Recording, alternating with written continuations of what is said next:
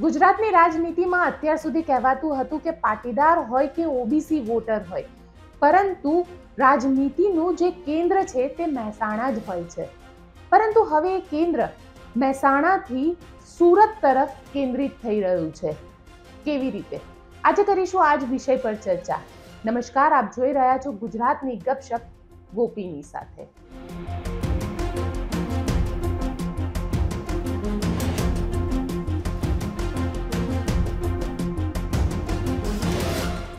મહેસાણાને રાજનીતિનું કેન્દ્ર માનવામાં આવતું હતું. એનું કારણ પણ છે અને ઘણા વર્ષો સુધી મહેસાણા બીજેપી માટે રાજકીય લેબોરેટરી પણ માનવામાં આવતી હતી. કેમ? કેમ કે આરએસએસના જે નેતા હતા તે મહેસાણાથી આવતા હતા. એટલી હદે કે બીજેપીમાં શંકરસિંહ વાઘેલા હોય કે નરેન્દ્ર મોદી હોય, આનંદીબેન પટેલ હોય કે અમિત શાહ હોય, કારણ કે અમિત શાહ ભલે માણસાથી હોય, પરંતુ તેમની જે લોકસભાની સીટ છે તે મહેસાણામાં આવે છે. અને સાથે જયંતિ બારોટાવા ઘણા બધા નામ છે જે બીજેપીના એવા નેતા છે કે જેમને બીજેપીને જંગસંગથી લઈ અને આજે ભારતીય જનતા પાર્ટી એક કોર્પોરેટ પાર્ટી તરીકે જેને ઓળખવામાં આવે છે ત્યાં સુધી પહોંચાડી. અને આ બધા જ મહેસાણાથી આવે છે. કારણ કે દરેકનો જે વિસ્તાર છે તે મહેસાણા જ છે, કર્મક્ષેત્ર મહેસાણા છે અને ત્યારબાદ તેઓ ગુજરાતના અલગ અલગ વિસ્તારોની અંદર ગયા છે.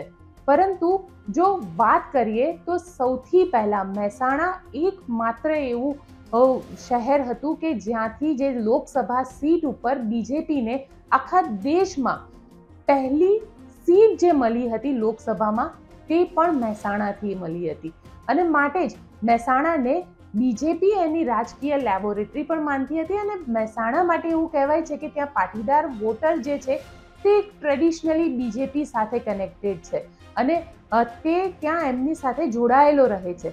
અને જો બે હજાર સત્તરની તરફ વાત કરીએ તો બે હજાર ને સત્તરમાં હાર્દિક પટેલ જે આવ્યા, હાર્દિક પટેલે પાટીદાર આરક્ષણ આંદોલનની જે શરૂઆત કરી, તેની શરૂઆત પણ મહેસાણા જિલ્લાથી જ થઈ હતી. મહેસાણા જિલ્લાના વિસનગરમાં સૌથી પહેલી પાટીદારોની રેલી નીકળી. સરદાર પટેલ ગ્રુપ જે ગ્રુપ પણ મહેસાણાથી છે. લાલજી પટેલ તેને ચલાવે છે અને આ લોકોએ ભેગા થઈને પાટીદાર આરક્ષણ આંદોલનની શરૂઆત કરી. એટલે મહેસાણા જોવા જઈએ તો તેને રાજનીતિનું કેન્દ્ર માનવામાં આવતું હતું. અને એવું કહેવાય છે કે મહેસાણામાંથી ભલે નેતા હોય ગમે ત્યાંથી, પણ મહેસાણા જે છે તે તેનું કર્મક્ષેત્ર રહે છે કે એ મહેસાણાને પોતે મહેસાણાથી જો હોય તો એને રાજનીતિમાં એક અલગ મહત્વ પણ આપવામાં આવે છે, જે આપણે નીતિન પટેલમાં જોઈ લીધું. પરંતુ હવે આ જે કેન્દ્ર છે, તે ધીરે ધીરે બદલાઈને સુરત તરફ શિફ્ટ થઈ રહ્યું છે. સુરત કેવી રીતે? સૌથી પહેલાં તો એ જાણી લઈએ, કારણ કે સુરત એટલા માટે કે આમ આદમી પાર્ટી હોય કે બીજેપી હોય, આ બંનેનું જે અધ્યક્ષ છે, તે બંનેના અધ્યક્ષ સુરતથી આવે છે. ગોપાલ ઇટાલિયા અને સી આર પાટીલ. અને આમ આદમી પાર્ટી જે ધીરે ધીરે આગળ વધી રહી છે, કારણ કે અત્યારે હવે ચૂંટણીને બહુ લાંબો સમય નથી બચ્યો.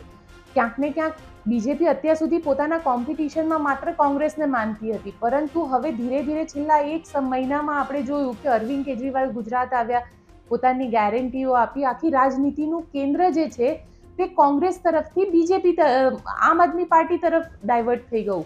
અને બીજેપી જે છે તે સતત હવે આમ આદમી પાર્ટીને કઈ રીતે જવાબ આપવો, તેના માટે સતત ક્યાંક ને ક્યાંક કામ કરતી હોય તેવું અત્યારે લાગી રહ્યું છે. અને માટે જ કહીએ છીએ અમે કે સુરત અત્યારે રાજનીતિનું કેન્દ્ર છે, કારણ કે સુરતમાંથી મંત્રી, પાંચ મંત્રી જે ભૂપેન્દ્ર પટેલ સરકારમાં અત્યારે છે, તેઓ પણ સુરતથી આવે છે. કારણ કે સુરતમાં સૌથી પહેલી વખત જ્યારે આમ આદમી પાર્ટી મ્યુનિસિપલ કોર્પોરેશનના ઇલેક્શનમાં સત્યાવીસ કોર્પોરેટરો સાથે વિપક્ષીય પાર્ટી તરીકે બેઠી હતી, ત્યારે સી આર પાટીલે એવું કીધું હતું કે આ એક સોનાની થાળીમાં છેદ જેવું છે. એટલે હવે આ છેદ આપણે કારણ કે બીજેપી જે છે સતત એ છેદને પૂરવા માટે મહેનત કરી રહી છે. પરંતુ આમ આદમી પાર્ટી જે છે તે સુરતની અંદર પોતાનો વ્યાપ ધીરે ધીરે વધારી રહી છે. અને જો સુરતની વાત કરું તો સુરતમાં સૌથી મહત્વની વસ્તુ એ છે કે સુરતમાં જો કોઈ પણ રાજનૈતિક પાર્ટીની પકડ બને, તો એ પાર્ટીની પકડ સૌરાષ્ટ્રમાં પણ એટલી જબરજસ્ત જોવા મળે છે. કારણ કે બે હજાર સત્તરમાં આપણે જોયું કે બે હજાર સત્તરમાં જે પાટીદારો હતા તે કોંગ્રેસ સાથે ગયા. જે ટ્રેડિશનલી આમ જોઈએ તો બીજેપીની વોટ બેંક ગણાતી હતી, જે કોંગ્રેસ સાથે જતી રહી. અને આ જ પાટીદારો સૌરાષ્ટ્રથી આવે છે અને સૌરાષ્ટ્રનું જે કનેક્શન છે એટલે સુરતમાં આવે છે. જો જિલ્લા વાઇઝ જોવા જઈએ તો અમરેલી, ભાવનગર, જુનાગઢ, આ જિલ્લાના લોકો જેમનું એક ઘર સૌરાષ્ટ્રમાં છે તો એક ઘર સુરતમાં પણ છે. અને કહેવાય છે કે રોજી રોટી માટે એ લોકો સુરત જાય છે, પણ રહેવા માટે એ લોકો પોતાની શાંતિ માટે પોતાના ગામ આવે છે. અને આજે એવા ધારાસભ્ય પણ છે કે જેમનું મત ક્ષેત્ર ભલે સૌરાષ્ટ્ર હોય, પરંતુ તેમનું ઘર, તેમનો પરિવાર એ સુરતમાં રહે છે અને કર્મભૂમિ તેમને સુરતને બનાવી છે.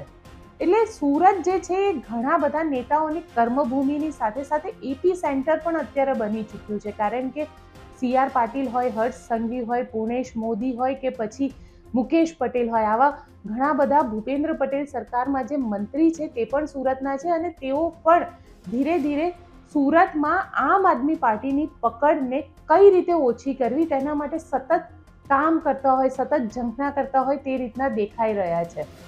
સુરત ઓવરઓલ જોવા જઈએ તો અત્યારે બંને પાર્ટી માટે, એટલે કારણ કે સત્યાવીસ સીટ સાથે આવેલી આમ આદમી પાર્ટી પણ સતત મહેનત કરી રહી છે કે સુરતમાં પોતાની એક મજબૂત પકડ બનાવે અને અરવિંદ કેજરીવાલ વારે વારે સુરત પણ આવી રહ્યા છે કે ત્યાં પકડ બનશે તો તેની અસર જે છે તે સૌરાષ્ટ્રમાં પણ જોવા મળશે.